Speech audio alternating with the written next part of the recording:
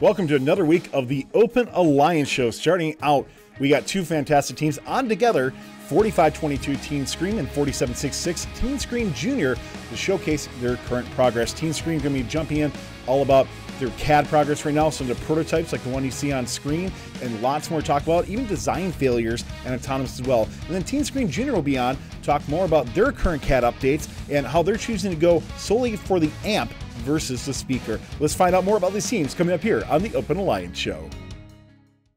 This video on fun is brought to you by viewers like you and also in partnership with the following. AndyMark is your one-stop shop for all your robotics competition needs. Celebrating 20 years of quality robotics parts and superior service, AndyMark employees have over 200 years of first-team experience. From mechanical and electrical products to tools and hardware, head on over to AndyMark.com for high-quality and affordable solutions. Support Fun's content creators when you sign up for a membership on YouTube Join. You'll get access to special perks like emotes, loyalty badges, and Fun members will even get early access to our scheduled videos and more.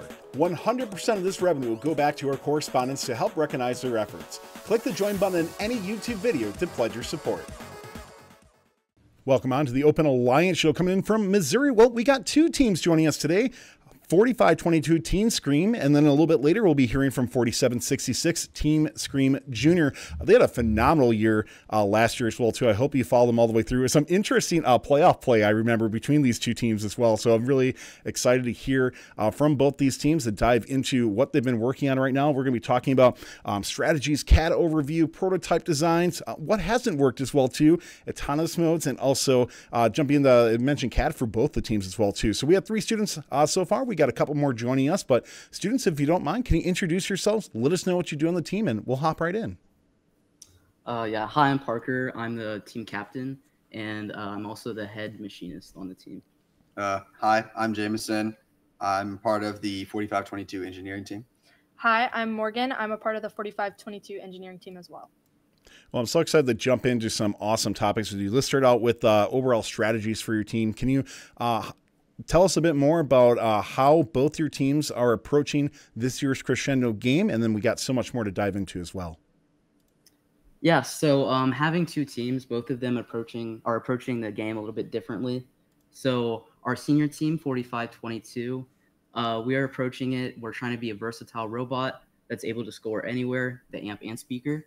And then for 4766 our junior team they're going to be focusing on amp scoring when you were looking um, at at this game and what you want to focus on, uh, how was that priority system set up for your team? Like, where you kind of narrowed down, like, hey, especially for like Team Scream Junior, like we're mainly going to be an amp bot. Uh, what made you really want to choose that route? Uh, for 4766, we really wanted to choose that route for them um, because we wanted them to be a good alliance partner. And so that was really the push is if we can have one robot that's able to amp really well, then we're able to uh, be a good alliance partner for and get picked.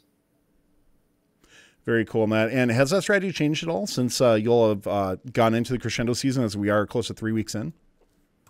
Uh, no, the strategy hasn't changed. Uh, we like to start with a really strong strategy and then design from there.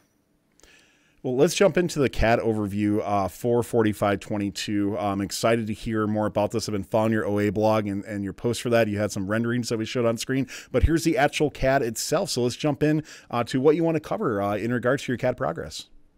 Okay, so we're starting from just the bottom up. This is our chassis design. So we've gone with swerves. We've done uh, Mark IV eyes, level three gearing. We've also made our belly pan real deep. We're going to put all of our electronics real low, keep our center mass real low. Then we've opted for a under the bumper intake. There we go.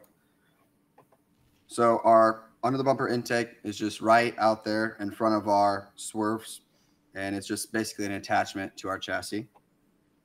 From there, working up, we've decided to go with an elevator just to help us reach all of those spots on the uh, field, whether it be the speaker or the trap or the uh, amp. Uh, mounted onto our uh, elevator, we have our shooter box. So we thought we'll just hand off from our under the bumper intake into this backside of the shooter right here. And then from there, we can either feed it up to our flywheels and we can shoot it into our speaker, Or we've actually decided we can amp, screw our amps and our traps out of this backside, just push it right back out at whatever pivot we need. For in game, we've gone with our climbers. And we've gone with more of a sliding or a slider. So they just slide up whenever we need them to. And whenever we need them, oh, there we go. They'll slide up. And then whenever we need to climb, we'll just slide them down and we'll be able to reach our trap.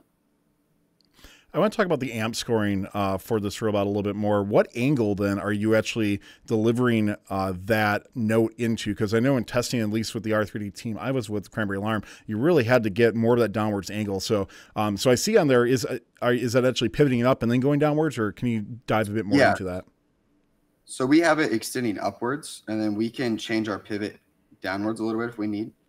Uh, our goal, though, is our wheels at the end. We're hoping uh, to angle our note downward into the trap or the amp, so that way it'll go. We can have our shooter horizontal and still score that way. And how about from a climber aspect? What are you looking at doing from there? uh, whenever we climb. So our climber is just these, they're just linear. I guess they go on these guides. Hold on. I'll get the rest of it in there for you. And so they'll just slide upwards uh, over that chain. And then whenever we need to climb, they'll just be pulled down by a pulley and our winch in the back. So this CAD seems fairly complete here. Uh, what point are you actually at in regards to uh, CAD completion? Um, so we've decided to take more of a approach on less clunky prototyping and more of a full robot type of prototyping. So we sat down and spent a lot more time working on the nitty gritty details, trying to get a more full scale prototype.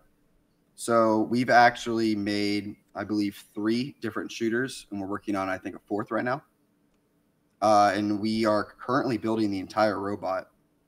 Um, yeah, we're, we're making the entire robot current or actively. I think that's a great uh, transition to talk about some of your uh, prototypes uh, as well too. So can you uh, dive into a bit more uh, in regards to where you're at right now for prototypes? You know, show off some of the different options for it. I know we got some YouTube videos that will show uh, for that as well too. And then uh, uh, if there's anything uh, in person that you also want to show, I know you got your dry base right there.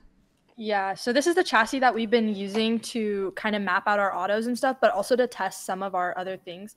So this is a custom plate that we made to go on top of our swerves. We like to have that modularity, so we like to hot, have hot swappable swerves, and this just makes it that much easier. And it also kind of gives more uh, robustness to it. Um, but this will connect on top of that like that, and then this.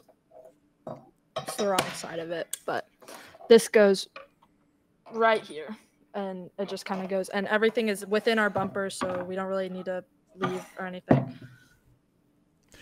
So really, really cool with that from the integration of it. Um, and then from your shooter prototypes, you mentioned a few of those before. Um, what can you uh, detail off for those?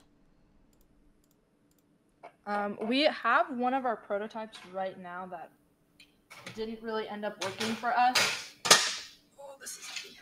Do you want to help me? Yeah. Um, so we kind of have like it's really heavy. we have these rollers on it that we just realized aren't gonna work for what we want to do. Um, but this was the amp side of it, and the note was just gonna slide out. But we had to change that to move more towards wheels.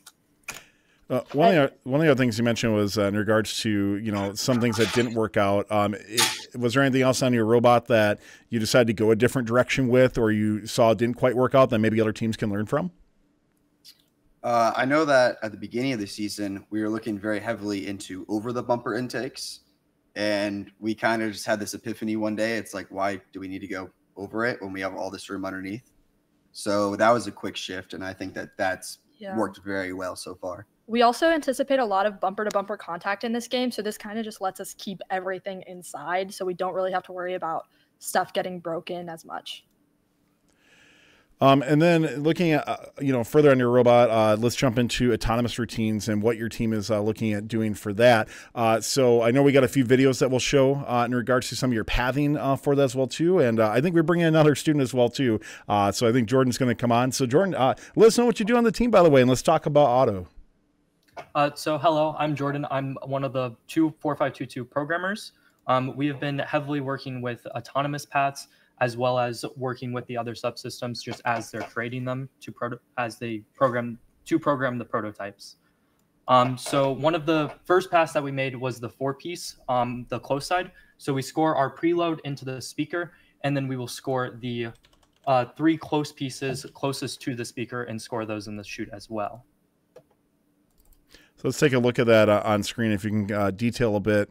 Uh, what that pathing is like. And then uh, something I want to ask you is like, what were from, you know, we talked about strategy and objectives uh, earlier. Uh, what was like, where do you want to be at in regards to notes? Because we keep seeing that barrier being pushed more and more and more from teams, right? Where does uh, uh, Team Scream or, or Scream Junior want to be in regards to how many notes you get?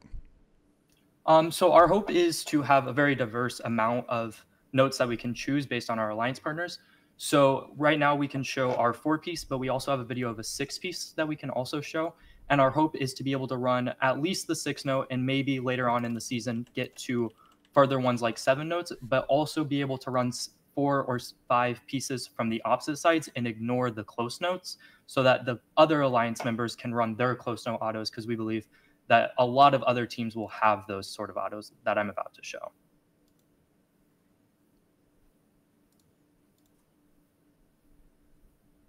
So walk us through uh, what's actually happening in this, uh, and what are you doing from a, a, programming standpoint to do your pathing? Yeah, so we're using a path planner for all of our autos. So this one, we just start from the beginning of the front of the subwoofer, and then we're moving towards the podium to pick up that piece, and then we move to the second note that's in between, and then move to the third one. From there, And, then, then, you say you got a six piece as well too. I'm really interested to see that. Yes, and then for our six piece path, we actually run the same initial start as the four piece, and then we just continue it on towards the center line.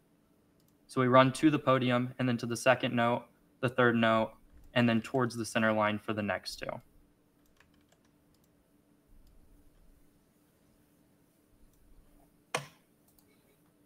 And what about uh, you know f- future plans for that? Um, are you looking doing any, any uh, alternative types of scoring uh, or uh, any other considerations in regards to auto?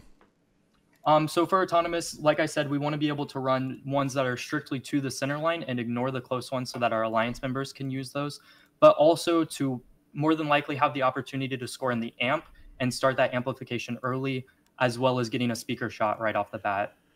And then, is there anything from outside of autonomous that you're considering in regards to doing any sort of uh, like tracking or using the April tags or anything like that? All that you can dive into?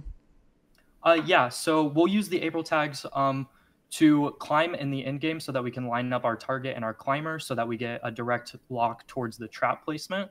And then we'll also use the April tags for localization, and we hope to be able to shoot um, during our paths, like during teleop, and we can just automatically adjust the angle for quicker shots and accuracy.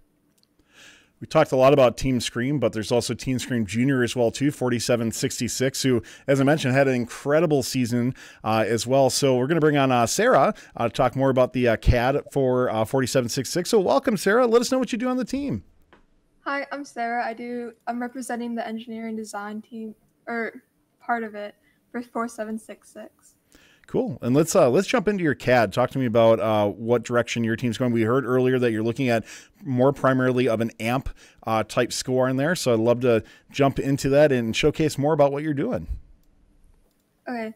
So here we have our block CAD. It's very conceptual, uh, but it's representing how we have a shooter and conveyor part rep on a pivot. It'll intake from an under the bumper intake and it'll convey up through our shooter box.